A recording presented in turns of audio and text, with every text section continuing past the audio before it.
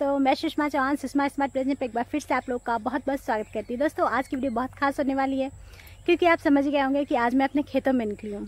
तो आज की वीडियो में मैं आप लोगों को अपना खेत खलियान दिखाने वाली हूँ, बहुत ही अच्छे अच्छे दृश्य दिखाने वाली हूँ। अपना एप्पल बेर गार्डन दिखाऊँगी, अपने खेत दिखाऊँगी, खास करके धान के खेत।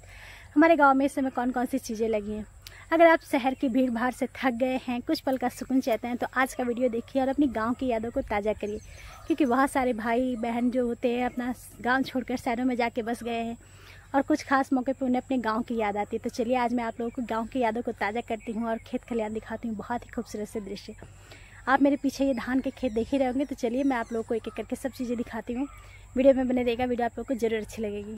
तो दोस्तों खूबसूरत सी वीडियो की शुरुआत इन खूबसूरत से फूलों से मैं करती हूँ। और ये देखिए दोस्तों हमारे घर गाँव में आ, मतलब जैसे मेरे जो बड़े भैया लगेंगे उनके गार्डन में लगा हुआ ये बहुत ही खूबसूरत सा गुड़हल का फूल। देखिए कितनी हैवी इसमें फ्लावरिंग हुई है। और कितने अच्छे, कितने बड़े बड़े साइज़ के इसमें गुड़हल खिले बहुत ही खूबसूरत सा ये गुड़हल है और इस गुड़हल की खासियत है कि इसका आकार बहुत अच्छा है। हर महीने इस पौधे की कटिंग कर दी जाती है। कटिंग करके इसको एक गोल सा शेप दे दिया जाता है और उसके बाद जब नई नई पत्तियाँ आती है तो इसमें इतनी अच्छी खासी फ्लावरिंग होती है कि दूर से जो देखता है उसकी नज़रें इस गुड़हल के पौधे पे टिक जाती हैं। बहुत ही खूबसूरत से ये गुड़हल का फूल। आप कमेंट करके बताइएगा कि आपको कैसा लग रहा है और आपने गार्डन में लगाए हुए गुड़हल के पौधे को कौन सा शेप दिया है? तो यहाँ देखिए, बहुत ही खूबसूरत सा और बहुत ही प्यारा सा गुड़हल का पौधा। तो चलिए दोस्तों, मैंने शुरुआत एक खूबसूरत से फूल के साथ की आगे वीडियो में बना रहिएगा, क्योंकि वीडियो आप लोगों को ज़रूर अच्छा लगेगा। और ये धीरे धीरे मैं आ गई हूँ अपने खेतों में। और ये देखिए, जो पेड़ आपको पीछे दिख रहे हैं, खेतों के पीछे जो पेड़ दिख रहे हैं, इन्हीं पेड़ों के बीच में मेरा घर है। तो किसी दिन किसी वीडियो में मैं आप लोगों को अपना घर ज़रूर दिखाऊँगी। तो देखिए, कितनी सुंदर सी जगह पे हमारा ये घर बना है। ऊपर एकदम खूबसूरत सा आसमान और घर के चारों तरफ़ इतने घने पेड़ पौधे बगल में खेत है और उसके बीच में हमारा बहुत ही प्यारा सा घर है। और खेत देखिए, आप तो देख के दिल खुश हो जाएगा। इतनी हरियाली इस समय गाँव में है, इतनी खूबसूरती है दोस्तों को उसको शब्दों में बयां कर पाना जैसे लगता है कि बहुत मुश्किल है। शायद कोई कवि होता या कोई लेखक होता तो इस खूबसूरती को बहुत अच्छे से बयान कर पाता। लेकिन मैं न कवि हूँ, ना लेखक हूँ, एक सिंपल सी, साधारण सी महिला हूँ तो इनको अपने शब्दों में बयान नहीं कर पा रही हूँ, लेकिन आप देख के बताइएगा कि आपको कैसे ये खूबसूरत से खेत लग रहे हैं। मैं तो जब ये खेतों में आती हूँ तो मुझे जैसा लगता है प्रकृति ने मतलब सबके खेतों में जो धान है, उसको एकदम एक सा कलर दे दिया है और एकदम एक बराबर करके एक बहुत ही अच्छी सी ग्रीन कलर की कोई कालीन या कुछ बहुत ही खूबसूरत सी चीज़ बिछा दी है हमारे खेतों में। और ये जो तार देख रहे हैं, ये वाला जो तार है, इस तार के इस तरफ़ का जो खेत है, वो हमारा है।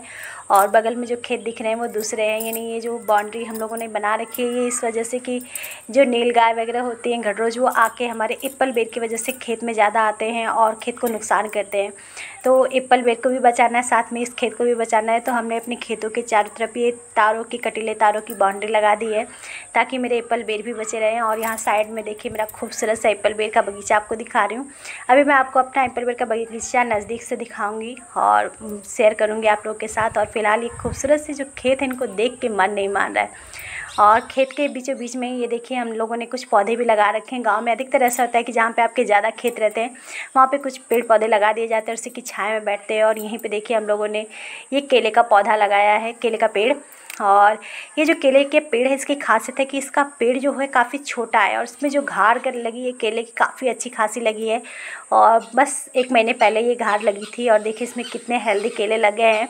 और अभी से ये केले जो है, बड़े अच्छे लग रहे हैं और बस मन कर रहा है कि कभी केले थोड़े से और मोटे हो जाए और मैं इसकी सब्ज़ी बनाऊँ। और यहीं बगल में देखिए मेरा एप्पल बेर का खूबसूरत सा गार्डन और पिछले साल ये पौधे काफ़ी छोटे थे क्योंकि उस साल हमने पहली बार इसको अपने गार्डन में लगाया था और इस साल तो इतने पौधे बड़े हो गए हैं दोस्तों कि इसके बीच में घुसना और घुस के वीडियो बनाने में बड़ी दिक्कत हो रही है। और मुझे खुद उम्मीद नहीं थी कि दूसरे साल पौधे इतने ज़्यादा बड़े हो जाएँगे और उसमें घुसना और घुस के वीडियो बनाना मेरे लिए थोड़ा सा मुश्किल हो जाएगा। लेकिन कोई बात नहीं, पेड़ है तो उनको बड़ा होना ही है और ये पौधे देखिए धीरे धीरे बड़े हो गए हैं। और बहुत ही खूबसूरत लग रहे हैं। और कहा जाता है कि जब कोई व्यक्ति बहुत अधिक थका हुआ होता है, जब बहुत अधिक थकान होती है तो उसको किसी खुली जगह पर जाके हरे रंग को देखना चाहिए। खास करके सुबह उठने के बाद अगर आप हरे रंग देखते हैं तो इससे आपकी रोशनी बहुत अच्छी होती है। हरे रंग की खासियत होती है कि हरा रंग जो देख के हमें बहुत अधिक सुकून मिलता है। ये मेंटली हमें बहुत अधिक अच्छा देता है और ये देखिए कितना अच्छा दृश्य है। ऊपर जो सूर्य भगवान पश्चिम साइड में अस्त हो रहे हैं, बादलों के बीच में बहुत अच्छा लग रहा है और ये खेतों में धान का कलर तो इतना अच्छा लग रहा है दोस्तों।